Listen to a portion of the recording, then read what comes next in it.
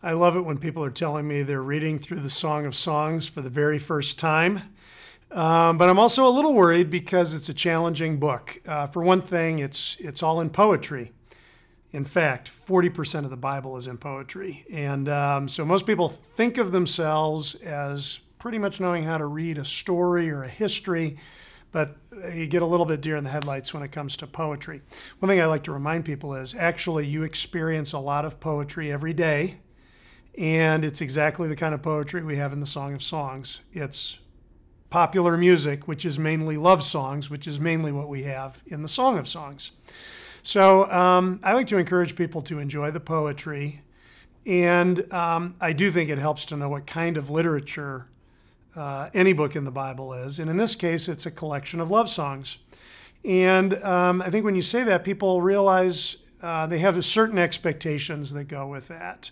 Um, they don't exactly expect um, uh, a history with a lot of names and dates. In fact, if you think about, um, you know, there are some pop songs where um, you know the name of one of the people. I mean, it's Luann or it's Louie Louie or whoever it is. But there are lots of popular songs that's talking about love. You don't know exactly who it is, but you can still enter into the story because it's a love song. So um, I think when we come to the Song of Songs with some of those kinds of expectations, um, it, it really helps. It's not a long book, so I encourage people to read it through pretty rapidly and then go back and read it again, maybe read it a couple times pretty rapidly, and then go back and um, try to uh, study it a little bit more closely. It's a short enough book that you can definitely read it, read it again, read it another time. Um, I also encourage people not to um, treat this exactly like a play where you have to know exactly who's speaking at every moment. Um, be a little flexible with it. A love song is like that. You don't necessarily always know who's speaking to whom and you can go with the flow a little bit. And I, I think this book um, is like that. Another thing that we always have to think about with the Song of Songs is what is the connection of this book to Solomon? Because it starts by saying the Song of Songs, which is Solomon's.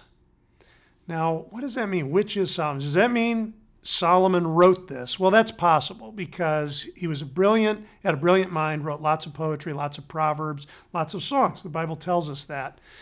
Um, it's a little tricky to think about because here is a book with an exclusive relationship between a man and a woman, and that's not the way Solomon lived his life.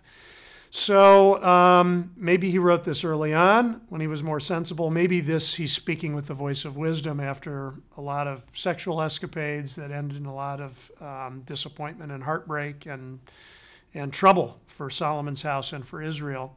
But I, I think we also um, could see this as being kind of in the style of Solomon. And I think one of the things that happens in this book, it's a little tricky, but here is a country couple. And one of the ways that they elevate the style of their love relationship is by using courtly language and comparing things to the royal court of Solomon kind of like um, kind of the way that people today are really fascinated with royal weddings in Great Britain. And they may even have some elements of what they do that's patterned after that or reflects that. They're not calling themselves the king and the queen of England or the prince and the princess, but they're um, elevating their own relationship by some of the highest ideals of human culture. And I think that may be what's happening um, here in the Song of Songs. Then here, here's one other thing that I like to encourage people in in the Song of Songs, and that is to read the book with bifocal vision. On the one hand, this is a human level relationship, lots of details about their family situation and about the natural beauty around them, and a lot of things happen in their relationship. There's a courtship, and there's a fight, and they get reconciled, and all those human level things.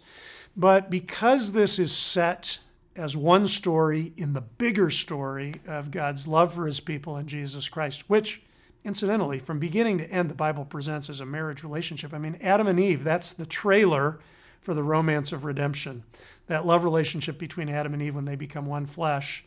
Um, and by the time you get to the end of the Bible, you've got the wedding reception, the, the marriage supper of the Lamb. And somewhere in the middle of that, the Apostle Paul is talking about earthly marriages in Ephesians chapter 5. And he says, Oh, I'm, I'm not even really talking about marriage. I'm talking about Christ and the church. Because when we talk about the human level love relationship in its ideal form, we really are talking about the love of all loves.